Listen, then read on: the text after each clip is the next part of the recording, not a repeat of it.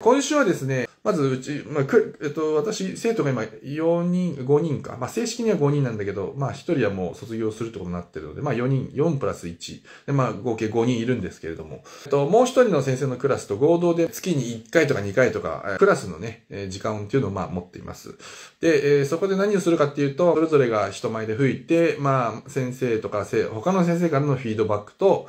えっ、ー、と、まあ、聞いていた、え生徒たちのフィードバック。まあ、生徒、生徒たちはあんまりね、ちょっとシャイなんであんまりここはこうした方がいいなんてあんまり言わなくて、あんまとても良かったよみたいな感じで、まあ言いますけれども、フィードバックをもらうっていう時間があります。で、えー、今週はですね、私はその別の自分の生徒じゃない生徒に、えっと、フレンチバロックのね、えー、曲をちょっとまあ教えました。うんと、なんだったかな、ボアモクティエの、えっと、そうなったかなんかなんですけれども、これはフレンチバロックってあんまみんなあんまり、なんていうのかな、と聞き慣れないことがああるっていうか、あんま慣れてない人がやっぱ多いので、それをやっぱり、どういうふうにやるか。もうこれもなんか、まあ日本語の例えば語学でいう文法みたいなものをもう知っておけば、まあ簡単にできるんですけれども、そういったのがまだ分かってない段階でそういった曲を吹き始めるともう何やっていいか分かんないみたいな状態になるんで、まあそれはちょっと、うん、まあおいおいですけれども、やりたい、みんなの前でやりたいなと思いますけれどもね。まあどんな曲だったかっていうと、確か、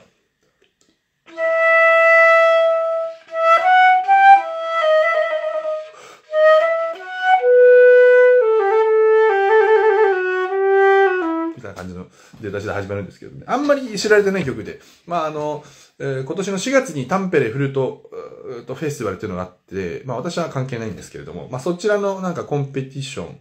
え、フルートコンペ、コンクールがあって、まあそちらの家電曲になっていって、まあ結構いい選曲だなと思ったのは、みんなやったことない曲なんで、あの、まあ要は、そ、そう、そういったものをどういう風に捉えるかっていうのの、えー、もう試したんだと思うんですけれども、まあ非常にいい課題曲だったなというふうに思います。ですので、もし興味がある方はね、例えば、まあ、ボア・モルティエもそうですし、あとはブラベとかね、まあ、ブラベは比較的、あの、やりやすいと思いますけれども、ブラベとか、あとな、何、ルックレールとか、あとまあ、まあ、そ、そ、そういう系の、えものにちょっとを聞いてみたりするっていうのは非常に、あの、自分の音楽の幅が広がるので、いいかなと思います。っていうのが、まず1点。で、そもう一つはですね、これも今度はあの、個人レッスンの話で、あの、まあ、生徒が、まあ、iPad をね、まあ、持ってきて、まあ、それでいつも見てるんですけども、私別に iPad を見ることはダメだっていうふうには言いませんけれども、まあ、やっぱり iPad を見たりすると、意外とその踏みくりが大変っていうのがあって、あの、まあ、ピアノだったら座ってるからある程度、あの、まあ、そんなにまあ、ペダルは使うにしてもある程度足が自由なんですけど、まあ、我々は立ってやってるので、あの、その、踏みくりをしてる時って、片足に体重が乗っちゃってっていうのがあって、そうすると結構、あの、ぐらっと来たりするっていうのがあって、それがちょっと私は、ああんまり良くないな。慣れ、慣れてない場合はあんまり良くないなっていうのがありますね。まあ、最近はなんか目でこうやってこうやってやると、なんかめくれるっていうのもある、あるみたいですけれども。で、えっと、やっぱり髪の方が私はいい気がするんですよね。なんかね、その、あ、眩しすぎて、も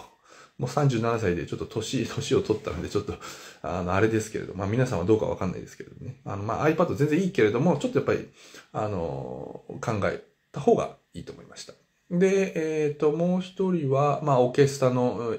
レッスンをしましたけど、まあこれはまあ、あの、先週言った感じで、えっ、と、まあ OK は本当に大事ですと。まあ一番あの、あの、なんていうの、サラリーマンになれるっていうのはね、音楽家でサラリーマンになれるっていうのはなかなかないので、あの、非常に、あの、魅力的な、えー、仕事だとは思います。まあ、拘束されるっていうのが、まあ、多少ありますけれども、やっぱり安定が得られるので、まあ、日本でも、まあ、興味がある方がいらっしゃったらね、まあ、ぜひ、オーケストラも、特に、まあ、大学、最初はやんなくていいと思います。学部の段階では、ま、やんなくていいですけれども、まあ、えっと、学部の、まあ、学部の終わりあたりから、まあ、修士課程ぐらいになったら、やっぱり、ね、一通りの有名なオーケストラはもう全部知ってますっていうところまで持っていった方がいいかな、なんていうふうには思ってます。まあ、ちょっと、カリ、日本の大学のカリキュラムがどうなのかは、ちょちょっとよくわかんないんですけどもね。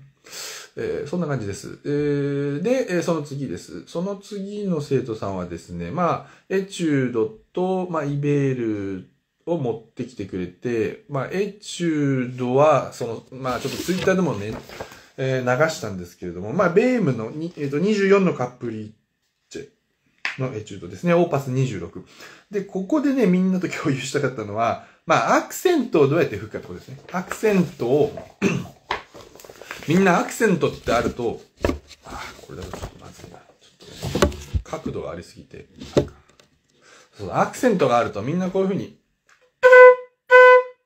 こうこう吹いちゃう。こう吹いちゃうんです。で、そう吹いちゃうと、あの、まずアクセントの音が毎回汚くなるっていうのがあるので、えっ、と、な、あの、アクセントで大事なのは、もちろんそのある程度の初速があって、それに、それで音をこう、触るっていうのがね、ある程度勢いが必要だけど、勢いがありすぎると音が汚くなるので、そのある程度の初速を使った後、息のスピードをガッと下げる。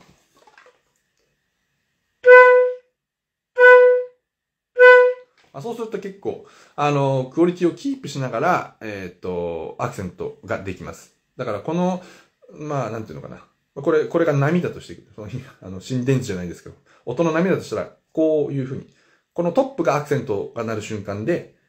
その、降りてくる、この感じを感じるっていうことが特に大事で、結構連続してくるとみんな、そのこの、降りがないから、まあこれも普通のタンギングやってる時もそうだ。よ。に対して、ていうのはこのリラックスがないっていうことなんで、そのリラックスを常にまあ考えながら、えー、やるっていうのが、えー、大事です。で、例えばこれが12番、今、まあ、12番のエチュード、これ俺、あんまやったことないんでできるかわかんないけど、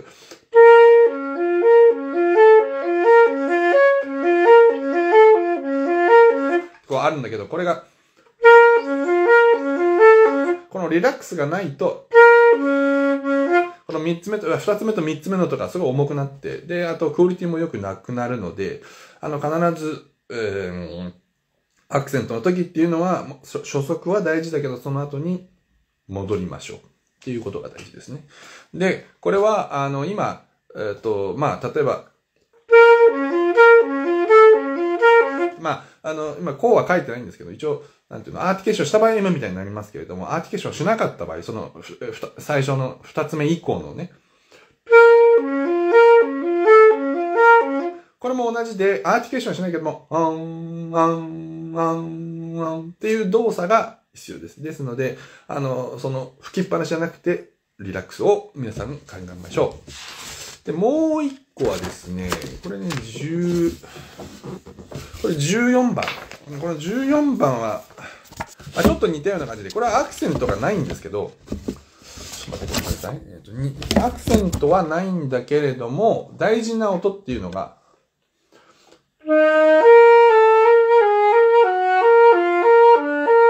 まあ、こう、これ一生説明今吹きましたけれども、えっ、ー、と、ここで大事な音っていうのは、これは大事な音ですね。ですので、その上、その他で鳴ってるベーっていうのはあんま大事じゃないので、その時に、この、大事じゃないベーを頑張って吹きすぎない。みたいな風にやってしまうと、どうしても重くなるので、うんと必ずメインの音を出すっていうことと、そのメインじゃない音は、まあ先ほどのアクセントの話でアクセントの一音に対してこういうふうにリラックスしようっていうふうに申し上げましたけれども、今度は、ねーって最初の二つ、二つの音があったら、最初の音を、まあ、こう、ある程度出して、その、その次の音でリラックス。にーこういう感じで常に行ったり来たりをするようにしてください。ありがとうございます、古谷くん。えー、っと、です。ですので、まあ、まあ、これは前提的に言えることなんですけれども、エチュードっていうのは、あの、まずはそういった細かいことをしっかりとできるようにするっていう、引き出しを増やす目的があるので、まあ、それぞれの、あの、曲で何が求められているのかっていうのを、ちょっとしっかりと考えて、それができるように、ただこう、音を追って、なんか書いてある通りに吹いてればいいっていうふうに思っちゃうと、結局何も、あの、得られないので、あの、そこはしっかりと、そ何をが求められているのかっていうのを考えて、あの、練習をしましょう。で、まあもちろんこのベイムっていうのはある程度これ難しいんですけど、例えばケーラーとかある程度簡単なものをやってる時も、あの、まあもちろん簡単だからって言って舐めずに、全部の音がしっかり鳴っているかとか、あの、ちゃんとクレッシェンドとかできているか、クレッシェンドの時に音質が変わっていないかとかね、そういったことを、えー、常に意識しながらやると、やっぱり結構、あの、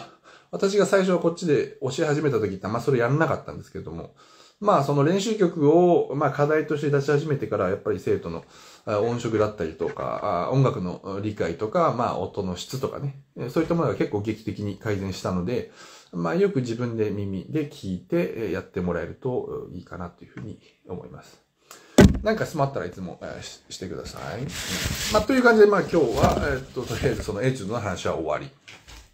えで、もう一つみんなと共有したかったのは、えっと、息を吸うときに、うーん、お腹のおへそ周りの筋肉がリラックスしているかっていうところですね。これが、えー、その、まあ、今週やった生徒さんは、あの、ちょっと緊張しすぎてて、なかなかリラックスができないっていう状態だったんです。で、ぜひとも息を吸うときに自分のお腹を触ってみて、そのお腹が緊張しすぎてるか、しすぎてないかっていうのをチェックしましょう。えー、これが緊張しすぎてる場合は絶対に息が入りません。ですので、必ずお腹を触ってみて、お腹というかまあ、おへその周りの脇の筋肉っていうのは、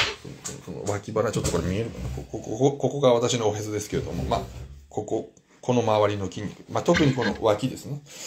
この脇の筋肉がしっかりと、あの、リラックスしてるかっていうのを確認しましょう。で、えっ、ー、と、で、難しいなと、立ってる、立ってる時が一番難しいんです。ですので、立ってる時で難しいなと思ったら、まずは今度は座ってやってみてください。で、座ってやって、それでもまだ緊張してるなと思ったら、今度は、あの、寝そべってください。まあ、ソファーでもいいですよ。ソファーとか。で、その、今週の生徒さんはですね、あの、座ってる段階でも緊張が結構激しかったので、えっと、ソファーに寝転がってもらって、えー、っと、で、そこから自分が、えまあ、えっと、ゆっくり、ちょっと時間かかりましたけれども、あの、ちょっと筋肉に働きかけるというか、あの、リラックスするような感じを、意識をし始めたところ、だいぶその、あの、緊張が解けてきたので、あまあ、その、立ってもダメだし、座ってもダメですっていう人は、あの、ぜひとも、あの、まずは寝転がってやってみてください。で、その次に、えっ、と、まあ、最初は足、まあ、下半身の、まあ、膝から下も、その、ソファーの上で、乗っけてていいんですけれども、今度はある程度それができるようになったら、その膝から下をちょっとだらんとなんかこう、支えがない状態にして同じようにできるか。で、その次は、えー、また、それができるようになったら、椅子に今度座って、えー、同じようなことをやるんですけれども、えっ、と、まあ最初は足をつけていいですよ。足をつけてやって、で、それできるようになったら、まあちょっと足を、ある程度、あの、浮かせて、浮かせた状態で、えっ、と、それでもリラックスができるかどうかっていうのをやります。で、え最後に立って、立ってる段、立ってる時はもちろん足はついてて、床についてていいんですけれども、その時も、その時に立ってやって息を吸う時もしっかりとリラックスができているか、息を吸う時にリラックスできているか。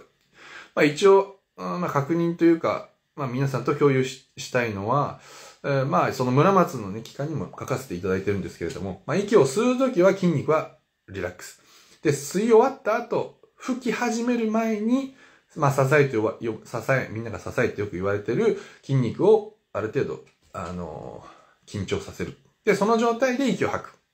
で、吐き終わったらまたリラックス。で、このリラックスがないと、あのー、ま、またね、同じような問題が起きるので、必ず息を吸う前はリラックスをしましょうっていうことを、もう本当に口を酸っぱくして皆さんとね、に、お伝えしたいです。何か質問？大丈夫でしょうかね。えー、ですので、まあそんな感じですね。えー、で、ラストです。えー、えーと、今何時？まあまあ、まあ、そので、OK です。で、えっ、ー、と、一応最後。うん、これはまたフリーデマンバッハのね、あの、ちょっと生徒が今、なんか二人ぐらい持ってきてくれたんで、あの、結構面白いんでね、あの、皆さんにも結構馴染みがあるんじゃないかなと思って。あの、上野聖也さんとね、アレクシーさんが、あの、なんだ、CD 録音しましたし、えっと、うちの同僚のキョンハム君、大ボイですけれどもね、えー、が、えっと、チョウソンヨン君、これも私の友達ですけれども、えー、録音して、まあ、 Spotify、日本であんのかな Spotify で聞くことができます。ですので、まあ、もし機会があったらね、あの、聞いてみてください。で、えー、まあ、まあ、そ、ここで何を学べるかっていうと、まあ、まずはちょっと、まあ、バロック音楽の吹き方と、それプラス、まあ、デュエットっていうことで、まあ、アンサンブル能力、アンサンブルの、まあ、仕方みたいなところがね、えー、を勉強できると思うので、まあ、それはちょっと今、あの、共有しますね。えっと、ちょっとみんな学部ありますかね？あの、なかったらごめんなさい。急にあの、あの、思いついたんで、えっと、一応 IMSLP に行けば、あの、無料で、ど、えー、なんだっけ、著作権フリーのやつが載ってるので、まあ、それが、もし見たかったらね、見て、見てください。えっ、と、まず最初のこの、まあ、ちょっと今日は一学書、まあ、まあ、時間にもよりけりですけれども、えっ、と、1ページ、まあ、め、または2ページ、2ページだとちょっと長すぎるか。まあ、1ページをやろうと思いますね。えっ、と、まずは第1フルートがですね、こういう感じで、え一人で始めますよ。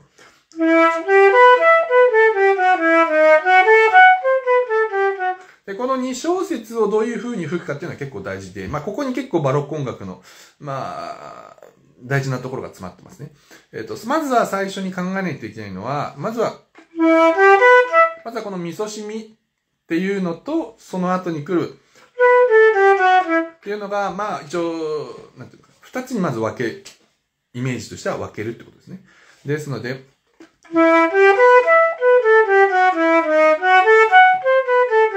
2小節目も同じ感じ。ですので、2小節目は、と、で、ここで大事なのは、その最初の味噌染みとか、2小節目の最初のレファラファとか、で、こっち、この2つのフィギュアが大事です。で、その後に来る、とか、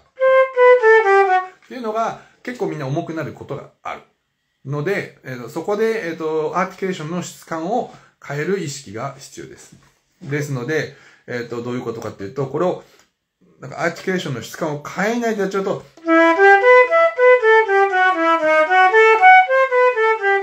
全部が重くなって聞こえるので、まあそのアーティケーションの質感を変えるっていうのは、まあ、まあ言い換えれば、舌で音を触る、うん、時間を変えるっていうこと。どういうことかっていうと、例えば、てーてーてーてーてーっていうのは、あんまり、その、と、トゲトゲしすぎないアーティキュレーション、プラス、ちょっと先に行くイメージっていうのかな。とか。で、この、その先に行くイメージっていうのは、まあ、どっちかっていうと、まあ、ちょっとアーフタクト的に考えてくればいいいいのかな。その次の小説にかかってると思う。そうすると、ある程度自然に、あの、流れというか、が生まれるので、まあ、そういう風に吹いてください。吹いたらいい、いいと思います。で、その次ですね。えっ、ー、と、まずその、まあ、二つに、それぞれ1小節目と2小節目、2つに分けましたけれども、これを、この最初のまず第1グループ、ちょっと考えますけれども、これをまた、っていうふうに、こう、全部を同じ質感でやると、それはそれでちょっとやぼったく聞こえるので、あの、ぜひとも、最初の音を大事に。で、上に上がるについて、少しずつテンションを下げていく。まあ、言ってみればディミヌエンドなんだけど、ディミヌエンドって意識しすぎるとみんな、こう抜けすぎるんですね。だから抜けはしないけれども、あまあ、えっと、少しずつテンションを変えていくっていうイメージ。なんかまあ、弦楽器でいう声が、ジージージージーその、なんていうんですか、弓のこの根元の方が自然とまあテンションがかかると思うんですけども、それに対して先っていうのはちょっとテンションが、あの、かかりませんよね。そういうイメージで、えっ、と、フルートも捉え、フルートで吹くときもそういうイメージで、えっ、と、捉えられるといいです。これ難しかったら、まずはスラーで練習しましょう。みたいな感じでやると、まあ、綺麗に、それっぽく聞こえますね。今度次ですね。3小節目。これは、今度2番フルートが出てくるので、えっ、と、2番フルートが出てきたら、えっ、と、1番フルートはちょっと抑えましょう。ちょっと2小節目から吹くと、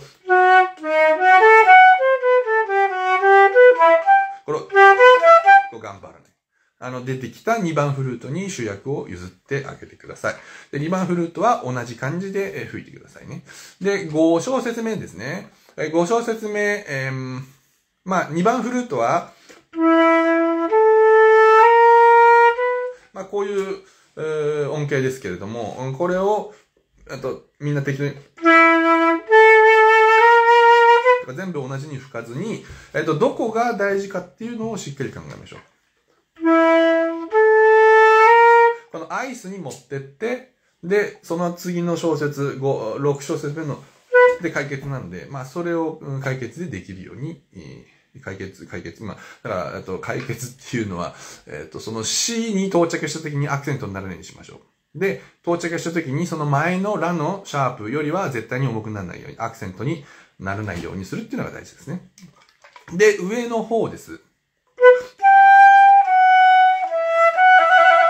まあ、これも同じ感じで、えっ、ー、と、今度は6小節目に向かって吹いてください。で、ちょっとディミネンド。あの、トリルがあるときは大体そのトリルがある音を大事にして、その、まあ、例えば、ミーレとか来たら、ちょっとディミネンドに。それを意識しましょう。で、えっ、ー、と、かなり細かいところですけれども、5小節目の、えっ、ー、と、1拍目の裏から始まる第1フルートのそうですね。で、これはちょっと押し、押すっていうか、ちょっと、あえっと、開けるっていうのかな、オープン、オープンにする。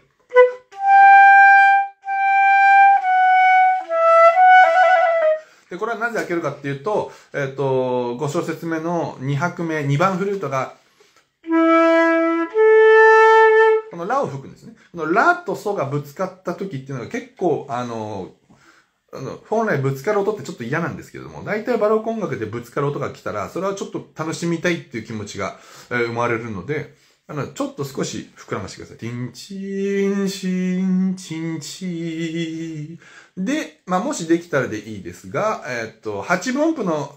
形を意識して、5小節目、第1振ると。まあ、ちょっと早めに切りましょう。で、ミは、ちょっと抜く感じ。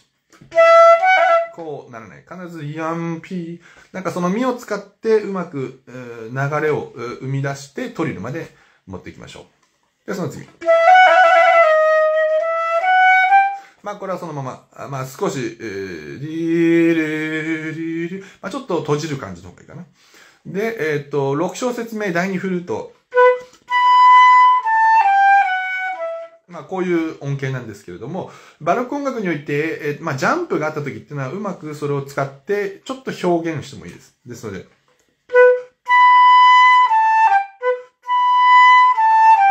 みたいな感じで、C の時に、にゃーんみたいな感じで、ちょっと、えー、オープンにしても構いません。で、その次ですね。まあ、ここまでが、まあ、なんていうのかな。えっ、ー、と、第一フレーズというか、まあ、最初の、まあ、えっ、と、プロローグっていうのかな？まあ、第一フレーズだと思ってください。で、その次ですね。5、6、7。7小節目は、第2フルートがメインメロディー。で、それに対して第1フルートが答えます。8小節目。で、それに対して9小節目、第2フルート。で、えっ、と、10小節目。まあ、ここまでですね。ま、まずはこの4小節が、ちょっと突然結構チャカチャカするので、まあ、そこをまずどういう風に吹くかっていうのを考えましょう。えっ、と、まずはそのメインのこのメロディーですね。っていうのは、まずこの、えー、このメロディーが、タタティティっていう感じで、一拍目のじゃないところから始まってますね。ミ、ミ、ソシって書いてあるけれども、実際はその最初のミっていうのは、その前にかかっているので、実際にはタタティティって感じで始まってるので、えー、そのミソシをあまり重くしないようにしましょう。みたいな感じですね。もちろんメロディーだけれども、これが、重すぎると、えっ、ー、と、それだけでちょっとなんか、もう聞いてて、えー、でね、ちょっとね、油っぽく聞こえるんでね、えー、必ずなんかこう、エレガンスな感じがあると、エレガントな感じがあるといいです。で、まずそうやってやっていただいて、2拍目、3拍目、ティーター、ティーティー。これは、まあ、あと、2個、2個、2個、2個のスラーで結んでいただいても構いませんし、こうこういう感じで。みたいな感じでやってもいいし、みたいな感じで、えっ、ー、と、2拍目のミ、シ、ソ、ミをある程度大事にして、その次の、あその、なんか、拍の裏っていうか、この、今、だって言って、ソ、ミ、シ、ソっていうのは、ある程度軽めになアーティキュレーションで、まあもちろん早く吹いてるとそこまでね、えっ、と、差は出ないんですけれども、これは、これは、ここは絶対ならないように、皆さん気をつけてください。ですので、ちょっとアーティケーション難しいな、なっていう人は、あの、スラーをかけちゃった方が無難です。で、スラーをかけた場合、それをディミネンドしてください、ぜひ。えっ、と、で、その、うん、一番フルートは、まあ、それに応える感じなので、そんな大事じゃないです。で、これをが、ちょっと、音形が上に向かっているので、みたいな感じにやると、あの、やぼったく聞こえるというのと、あの、まあ、音域が上なので、まあ、自然と結構うるさく聞こえるんですよ。ですので、みたいな感じで、えー、やって、軽くディミネンド。ちょっと難しいですけどね。上に上がるときにディミネンドっていう。のがやっぱり一番難しいんです。皆さん、上に上がるときは自然とクレッシェンドがね、したくなるんですけれども、そう。じゃなくって、ディミネンド。いやだったティティティティ。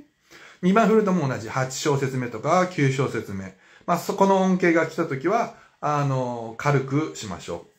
う。で、えー、っと、まあ、4小節、7小節目から4小節から同じよう。なものが続いてますけれども、まあ、カテゴリーとしては 2, 2小節ずつ分けましょ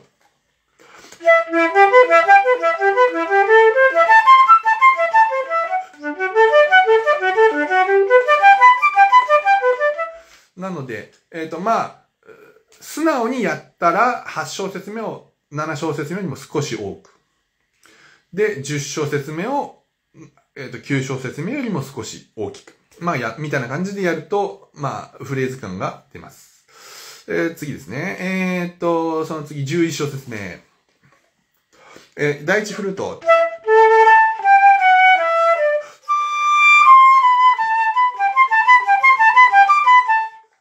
みたいな感じでありますね。ですので、うんと、第一フルートは、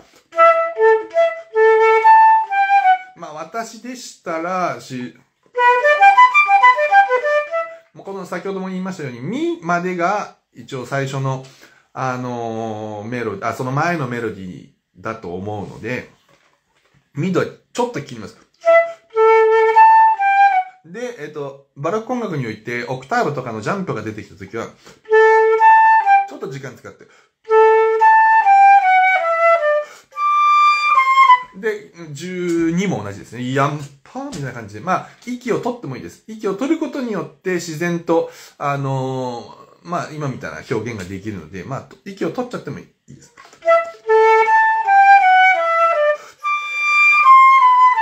みたいな感じ。で、えっ、ー、と、レードシラ吹いたとき、レーでちょっとだけ、えっ、ー、と、膨らませましょう。みたいな感じで膨らませると、えー、それっぽくなりますね。で、13小節目。これは、一応書いてある通りに吹くと、なんですけれども、えー、全く同じのが 3, 3回続いているので、あのフレーズ感を作るために、みたいな感じで、えっ、ー、と、ちょっとクレッシェンドをする。でも、あの、バラック音楽におけるクレッシェンドっていうのは、あの、音を全部使ってクレッシェンドじゃなくて、拍を使ってクレッシェンドとか、あの、小説を使ってクレッシェンドとかっていう意識が必要なので、これを、やると、あの、めちゃくちゃ重く聞けるので、まあ、言ってみれば、えっ、と、12小節目、シド、シド、シレイダ、これを使ってやってみましょう。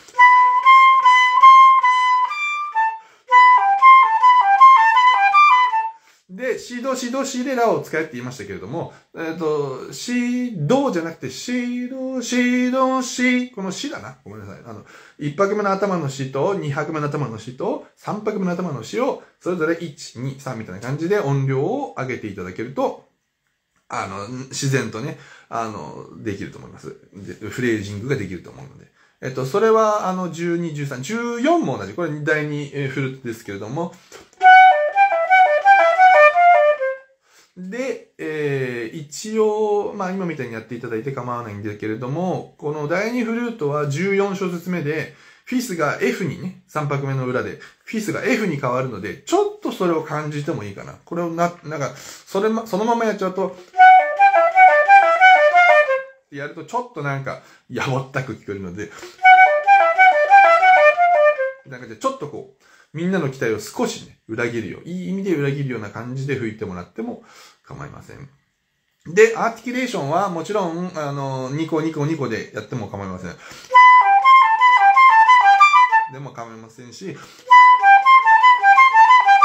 でも構いません。ただそのアーティキュレーションをする場合は先ほども申し上げましたけれども、ちょっと難しいですよ。ティーティーティーティーティーティーティーティーティー必ずこの全部が同じアーティケーションになるね。ティーティーティーティーティーティーティーってこうなる。ティーティーティー重い軽い重い軽い重い軽い。で、それを利用して、あの、ちょっとフレーズを作っていくイメージです。で、えっ、と、まあ、13。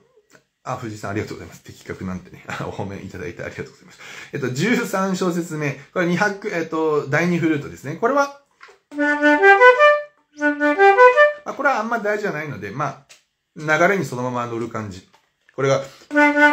ってこう重くならずに、この自分の、あの、な、フレーズに、自分のメロディーに向かって吹くっていうイメージだけでいいかなと。第1フルートも同じ。えっと、14小節目。あ、ごめん。俺間違えてましたね。リズムごめんなさい。で、第1フルート。で、次ですね。えっ、と、15からは、で、これを、あの、下に下がっている、で、下に下がってるとか、まあ、あんま関係ないんですけど、あ、ごめんなさい。一拍目を重くしましょう。第一フルート。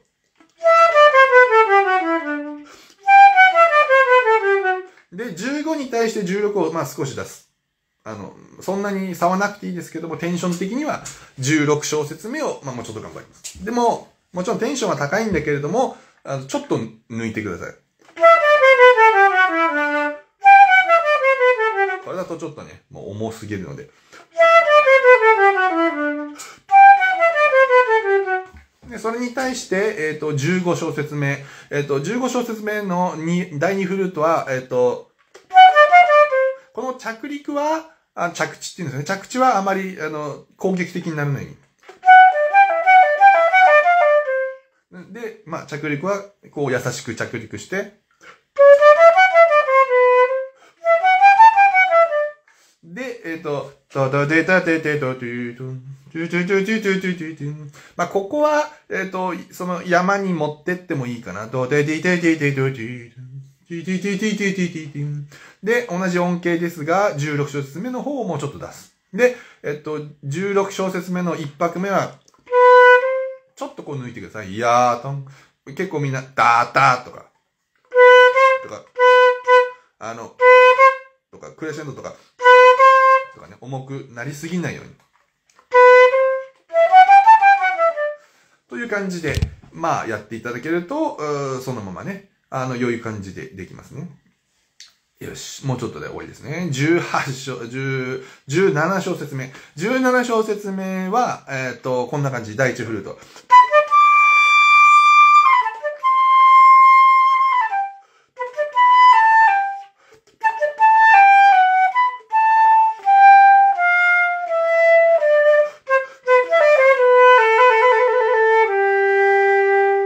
みたいな感じですね。えっ、と、ここで第1フルートで大事なのは、このアーティキュレーションはある程度、やっぱ、ちょっと、あまあ、はっきりめというか、パッパ。あまりタタタよりは、やっぱ、パーン。で、その、ラッタっていうエネルギーをうまく利用して、その、二分音符、この、で、レオ、レオ吹いてる時にちょっと伸ばしてください。あ、ちょ、ちょっと伸ばしてない。ちょっと膨らませましょう。で、あ、まあその、バロック音楽においてあんまりそのクレッシェンドっていう考え方あんま好きじゃないんですけど、まあ、これだとやりすぎなんです。たただ、ちょっと膨らませる。で、1回目、2回目同じことするとちょっと退屈なので、膨らませ方2回目、ちょっと1回目よりは出さなくてもいい。まあ、もしくは2回目の方もっと出すでもいいです。ちょっとそういう工夫をしてください。同じには絶対吹かないでください。で、第2フルートは、みたいな感じで、ちょっと閉じる傾向。やった、ティーリール。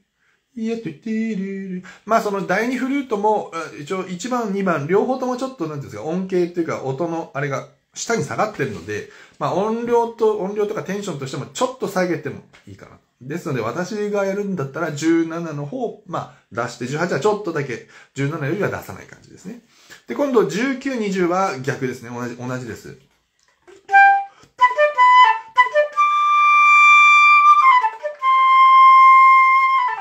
まあこれは同じです。ですので、1番フルート。みたいな感じで、うまく、えー、閉じてください。で、えー、21。21は、なんですけれども、まずは、えー、私だったら最初の8分音をちょっと切ります。いやんみたいな感じで。で、切って、で、まあ、ファが、ファのナチュラルがあるので、まあ、そこを簡単に通過するんで、ある程度ちょっと時間を、とか、みたいな感じで、ちょっとファを膨らませるとか、みたいな感じで、えー、やっていただけると、良いかなと思います。えー、OK です。えー、ということで、えー、で、最後の2小説目。これは、あのー、小説全体が、まあ、終わりの印に向かっているので、あんまり、みたいな感じで、早くディミネンドしないでください。このトリルまである程度テンションを持ってって、最後のソで、えー、リラックスですね。で、第2フルートは、これは最後の8分分もちろん軽くアーティケーションしていいけれども、あんまり、なんない方がいいかな。みたいな感じでやってくれると、あよろしいかなと思います。今何まあ、こんな感じかな。あの、ちょっと、あんまり時間がなかったんで1ページしかできませんでしたけれども、まあ、こんな感じでやっていれば、やっていけば、それっぽく聞こえると思うので、ちょっとそれを意識して皆さんね、練習してみてください。えなんか質問ありますかね？ないようでしたら、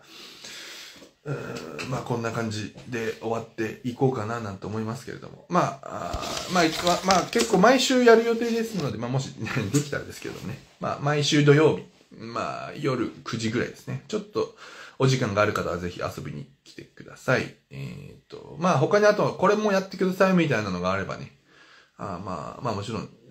内容によりけりですけれども、まあ取り上げようかなとは思いますけれども、まあ大体その今週思ったことみたいな感じで、それをみんなと一緒にこう、シェアしていく感じのスタンスでやっていこうかなと思います。ですので、